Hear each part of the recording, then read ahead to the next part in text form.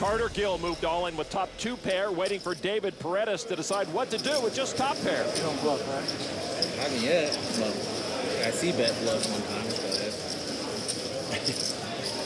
and after that, I just check, check, check it down the rest of the way. I called him on the river with deuces. Two poker pros here. Gill dropped out of Cal State Chico. Paredes graduated from Harvard.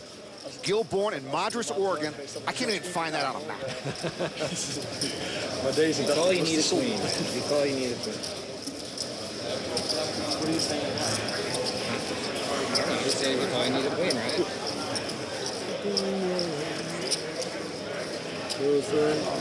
Paredes calls.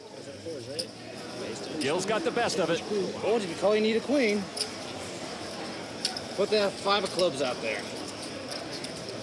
Five of clubs. I was right. Is a call, you need a queen. And he hits it.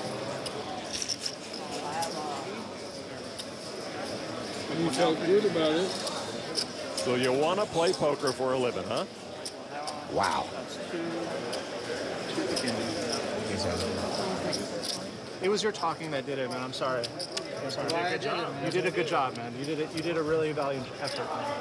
Carter Gill stunningly knocked out by David Paredes. I'm surprised he did not slump over in his chair into a state of unconsciousness until 2017. All you want to do in this poker life is flop top two, get your chips in good. The rest is just out of your control.